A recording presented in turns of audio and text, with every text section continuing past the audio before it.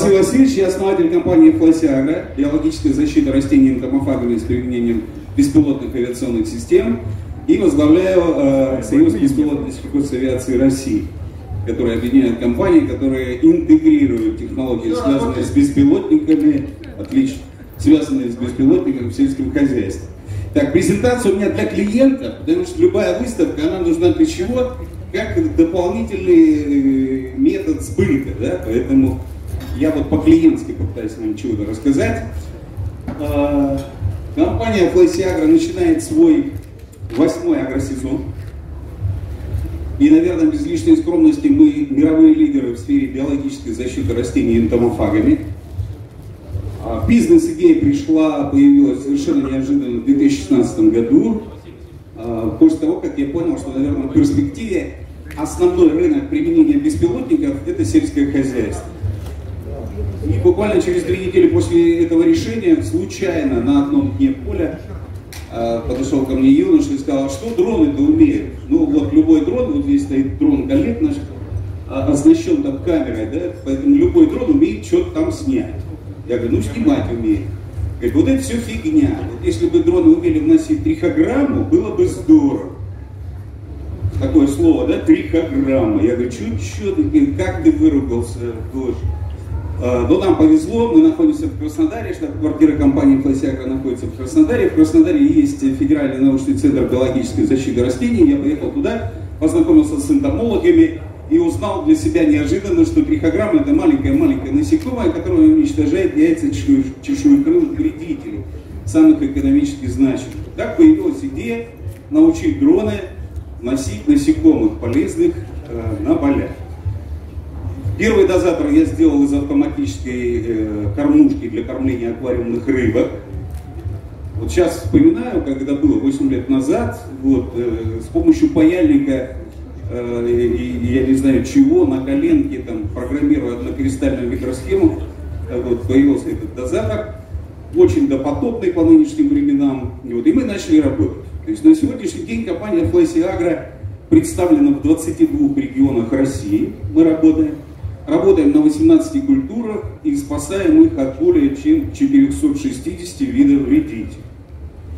Начинаем активно посматривать за рубеж. Кто знает, что такое энтомофаги? Руки поднимите? Так, хорошо. О, о, серьезно. Уже приятно работать. Да, энтомофаги это у нас инженеры есть, они э, слоган придумали для нашей компании «Насекомые убийцы с доставкой». В агро «Насекомые убийцы с доставкой». Да, это насекомые убийцы, паразитоиды, либо наездники, которые уничтожают других вредителей. Сейчас а, вообще умный вопрос задам. А кто помнит теорию абсолютной идеи Гегеля? Да. Ну, это вот уже валит, так О, валит, да. Валит, да, да. А, ну, я напомню вкратце, да, старик Гегель говорил, что в природе есть несколько уровней систем, и от этих уровней зависит эффективность этих систем. Ну, я упрощаю, да, потому что когда Гегеля читаешь, там надо перекуривать каждые 15 минут, чтобы это все утряслось. Так вот, э, нижним уровнем он назвал механизм, да, следующий был химизм и следующий организм. То есть организм – высшая форма существования систем, наиболее эффективная. И, собственно говоря, вот эту идею мы сейчас и эксплуатируем, да, то есть научить организму служить человеку. На сегодняшний день мы приручили э, 4 пока вида энтомофагов, но на самом деле больше. 4 а, основных вида, еще там кучу подвидов. А, и работаем, как мы работаем, знаете, ну вот на этом слайде, как это, азбучные истины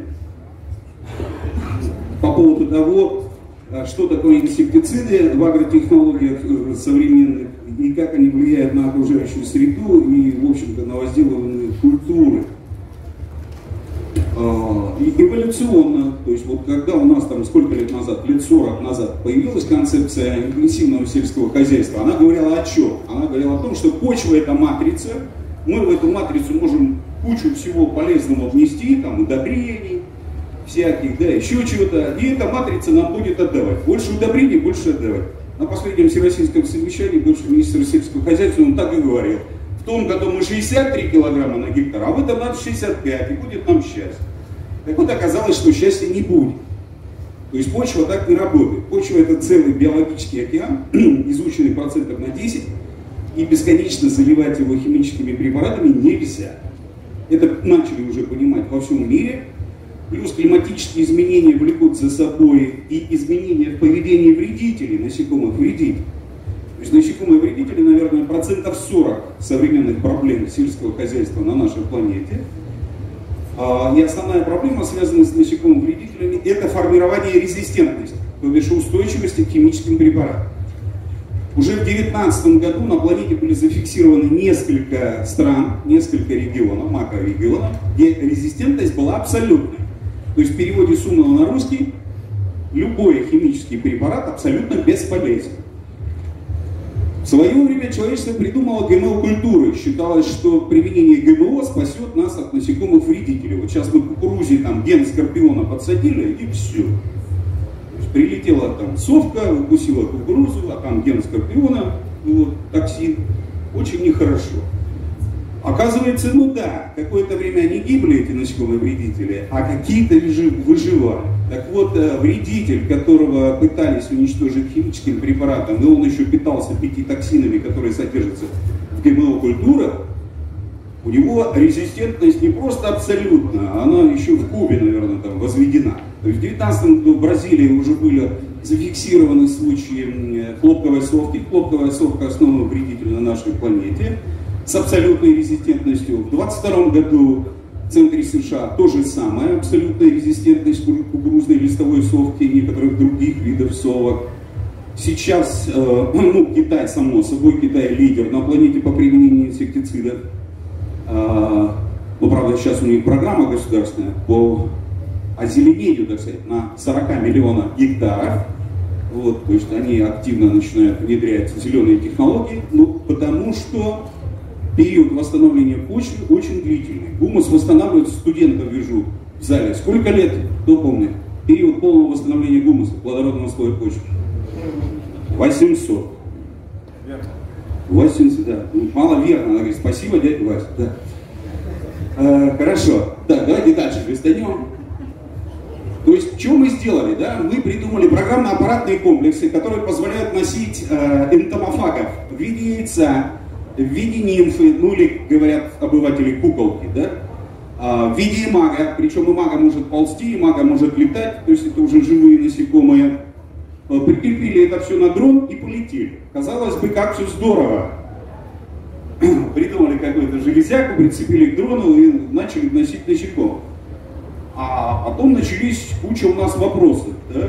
И мы стали понимать, что результат зависит от того, что внести, когда внести, в какой дозе внести, в какое время суток внести, при какой температуре, при каком ветре. И даже от того, как пролетает дрон, тоже зависит результат. И после вот, ну, 7 лет работы мы понимаем, что это вот уже законченная технология. Дрон классная штука. Дрон это высокоточный инструмент. Я часто использую медицинские ассоциации, наверное, потому что три года своей жизни провел в больнице с хирургами. Так вот, дрон это скальпель, который позволяет выполнить очень точную операцию. И на самом деле мне сейчас, наверное, ну, не то что обидно, а мне непонятно, я недоумеваю, почему сегодня в наши дни, когда мы слышим агродрон, у нас первая ассоциация, да какая? Дрон-опрыскиватель, да? А, хотя, на мой взгляд, можно придумать кучу технологий применения беспилотников в сельском хозяйстве, чем и занимается наша компания. Напоминаю, летай, смотри, а. а, ну что такое опрыскивание? Мы взяли ту же химию, поменяли концентрацию, заправили дрон опрыскиватель и полетели. Ну, что-то я не вижу там особых инноваций, на самом деле. А вот создать что-то новое, а мы учим дроны, ну, начиная от новых, новых видов мониторинга. Мониторинг, кстати, ну, наверное, Евгений сколько? Процентов 60 успеха в сельском хозяйстве, да? Поэтому технология мониторинга это не просто полетать и посмотреть, и сфотографировать что-то, там, определить NDVI. С помощью беспилотника можно определять э, запасы влаги в разных э, слоях почвы, можно даже состав почвы определять, можно определять состав воздуха, он тоже влияет, ну и прочее, прочее, прочее. Этим мы тоже занимаемся. И последнее, вот самые-самые-самые технологии, технологии искусственного опыление. Мы учим дроны опылять растения. В Китае уже в трех провинциях яблоки опыляют вручную, например. Дальше. А, как работает технология? Ну, у нас тоже мониторинг, фитосанитарный мониторинг. Когда начинается лед вредителя, наши агрономы и дроны вылетают, выходят в поля. А, мониторим начало лета. В последние два года это очень сложно, потому что, опять же, из-за климатических изменений у нас лед вредителя происходит перманентно. То есть он сложно очень дифференцировать на поколение. Летит постоянно. Как только мы все-таки определили, что начинается массовый лед, и стало бы через 5-7 дней начинается массовая яйцекладка вредителей, на поля выдвигаются экипажи наших беспилотников, а, и начинают работать. За истекшие 7 лет мы довели производительность наших технологий, ну, я считаю, до очень впечатляющих показателей. У нас один дрон обрабатывает в среднем 103 гектара площадей в час. То есть ни одна наземная техника с такой производительностью не работает. А, один экипаж, экипаж это два человека, э, с беспилотником. Вот рекорд компании 1274 гектара за рабочую смену 10 часов. Э, дальше.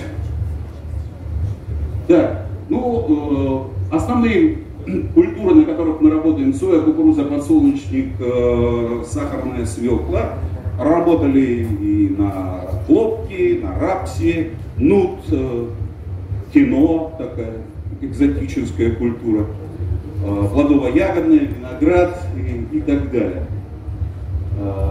Основные это чешуекрылые, как я говорил, совки, огневки, мотыльки, моли и э, ля. Дальше. Вот здесь везде на каждом слайде мы написали, да, эффективно защиты до 95%. Э, и это действительно правда это абсолютно не вымысел. То есть э, в последние, наверное, года три, и мы сравниваем себя с топовыми химическими инсектицидами, мы работаем лучше. То есть в некоторых регионах, особенно жарких засушливых, Ставропольский край, Саратовская область, юг Самарской области, эффективность применения томофагов выше, потому что при высоких температурах химический инсектицид не так эффективен. Дальше. Основные наши энтомофаги трихограмма златоглазка и габрабраком хебетер. А, опять же, вот интересная эволюция. То есть начинали мы с трихограммы, как я рассказывал, да, потому что мне казалось, что это технология превентивной защиты. То есть где-то мы применяем энтомофаги недели на две раньше, чем э, в поле выходит опрыскиватель. В среднем, да? Ну, мы же в России живем. У нас в моих переговорах иногда, я, я не знаю, я как на, на пенсию уйду, я буду писать смешные мемуары, потому что э, там, беседуешь с фермером или агрономом, он говорит, а в соседнем районе, э, э, говорит, в нашем районе вы работали? Я говорю, нет, не работали, в соседнем работали. А в нашем все по-другому. Я им рассказываю анекдот старый, да, девочка заходит в канцелярский магазин и говорит, дайте мне чернила для восьмого класса и глобус Казахстана. Вот это из этой серии, да? Любое насекомое в любой точке земного шара живет и действует одинаково, оно питается и размножается. Мы были вынуждены потом внедрить технологии златоглазка. Златоглазка очень серьезный томофак, очень агрессивный томофак каннибал, эффективен в отношении 75 видов вредителей в наших климатических зонах. Такое средство тотальной защиты, своего рода биологический напалм, который сметает все. Яйца, гусениц первых возрастов, первого-второго возраста и так далее и тому подобное. Ну и чаще всего наш клиент, он звонит, э, как, как это происходит? Он заходит в поле кукурузы. Вся жизнь насекомых в поле происходит ночью.